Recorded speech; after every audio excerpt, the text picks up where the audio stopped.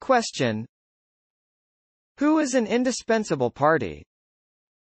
Answer an indispensable party is a party in interest without whom no final determination can be had of an action, and who shall be joined mandatorily either as plaintiffs or defendants.